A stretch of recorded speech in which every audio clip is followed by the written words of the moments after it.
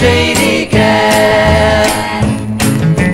Peggy Ann could not get back because the mountain man took her away. And eight days she had to stay. In the Tuscarora Mountains, Shady Gap, PA, Peggy Ann was coming home from school one day with her brothers and her sisters when a man stepped out on the road. Now the man wore a mask and he carried a gun and he grabbed Peggy Ann before she could run. And why he took that girl, why nobody knows. Eight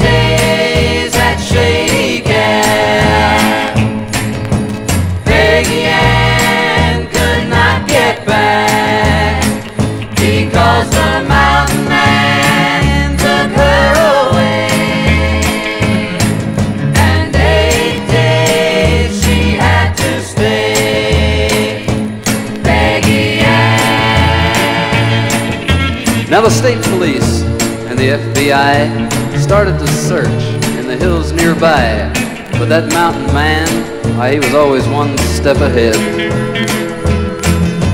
He hid in caves and he ate out of cans. He knew those hills like like the back of his hand, and everyone thought that little Peggy Ann was dead. Eight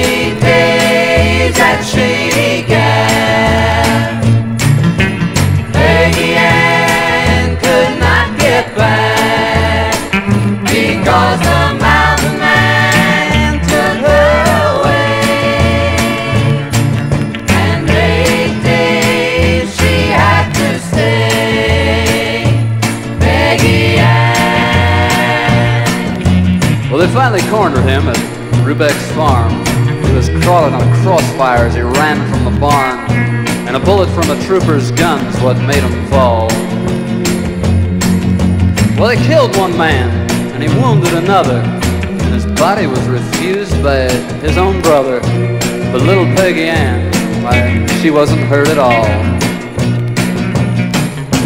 Then Peggy told her parents at the very end that all the mountain man wanted was to find a friend.